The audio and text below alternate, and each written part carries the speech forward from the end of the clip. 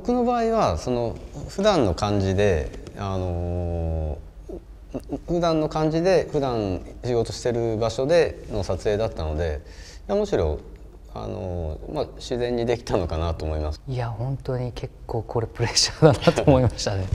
歌を歌うでねまあ高君のそのねこういうふうにやるっていうのも今後ね今回こういう形をいただいたのも初めてですし。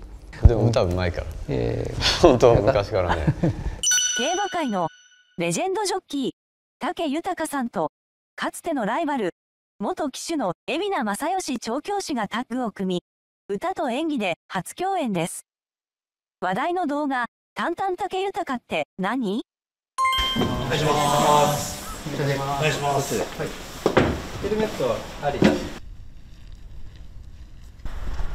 お願いします